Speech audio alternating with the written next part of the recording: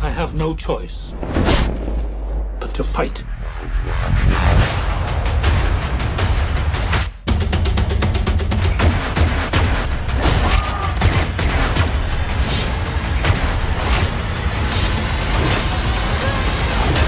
April 2024 on Netflix is shaping up to be an absolute feast for series lovers as Netflix is rolling out more series than movies. Plus for the movie buffs, Netflix is dropping the second part of one of this year's most anticipated movies. So get ready for a ton of binge-worthy content coming your way this month. So starting with the first big release of the month, we have Ripley.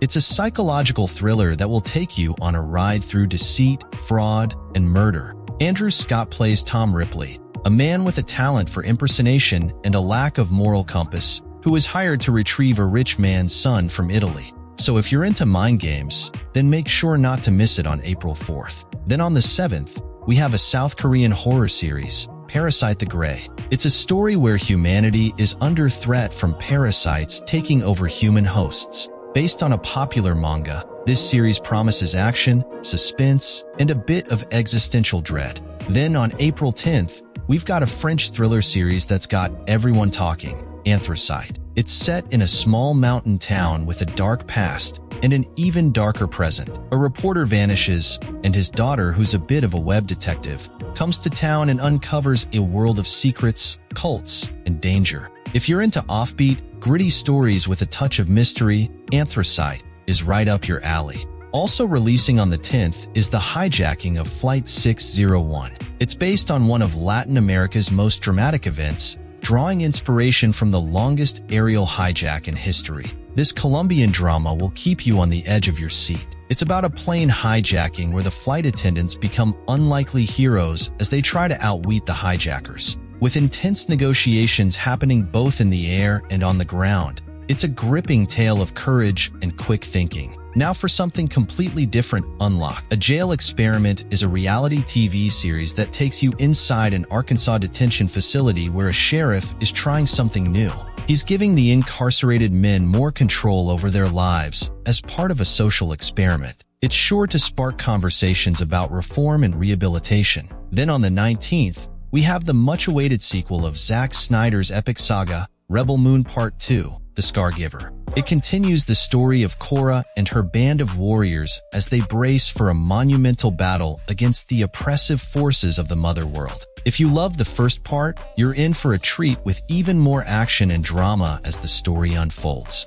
Next on April 25th is Dead Boy Detectives Season 1, a much-anticipated Netflix series based on DC Comics characters. The story revolves around Edwin Payne and Charles Rowland, two ghostly teens who decide not to enter the afterlife. Instead, they remain on Earth to solve supernatural mysteries, offering a fresh take on ghost stories through their adventures. Now here's a bunch more new releases I'm gonna cover real quick, starting with the Magic Prank Show with Justin Willman. He and his team have spent three years crafting this unique show that merges magic and pranks in ways never seen before. On the third is Files of the Unexplained, this investigative docuseries delves into paranormal occurrences and mysterious disappearances that have puzzled humans for generations. On the fourth is the German crime drama series Crooks, which revolves around a priceless coin that ignites a war among multiple gangs.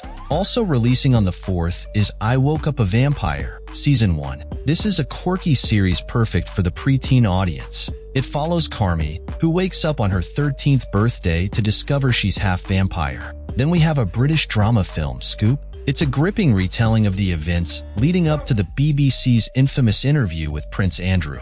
It releases on April 5th, along with the Antisocial Network, Memes to Mayhem. This documentary delves into the chaotic world of internet memes and how they've influenced real-world events. Then on the 11th, we have Baby Reindeer, a drama series based on Richard Gadd's award-winning stage play. It follows the story of a comedian whose act of kindness towards a vulnerable woman spirals into a suffocating obsession. Next on the 12th, we have a biopic film from Bollywood, Amar Singh Chamkila. On the 24th, there's a Swedish drama, Deliver Me, which delves into the aftermath of a horrific crime committed by a 14-year-old. It explores the complex question of responsibility in a society quick to label children as monsters. On the 25th, we have a Japanese live-action adaptation of the legendary manga, City Hunter. Now let's quickly take a look at the best films and shows that are returning or being re-released on Netflix. Starting from the first, we've got Baby Driver from 2017. It's all about thrilling car chases and awesome music.